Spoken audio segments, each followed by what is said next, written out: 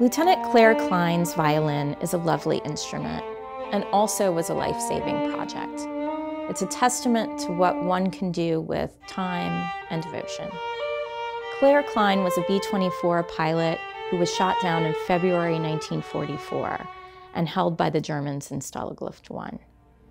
Allied officers like Cline were not required to work according to the Geneva Convention, and as POWs, they fought the hourglass until they were liberated. Many couldn't stand the confines of POW life, being held in close quarters with thousands of others after having experienced a trauma and with no predetermined end.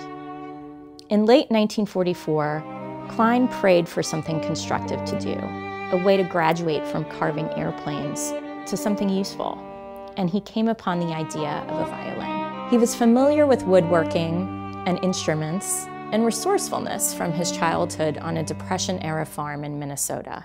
So he used that resourcefulness to gather the tools he needed.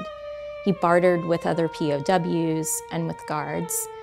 He used a penknife, bed slats from their bunks, carpenter's glue scraped from the camp furniture.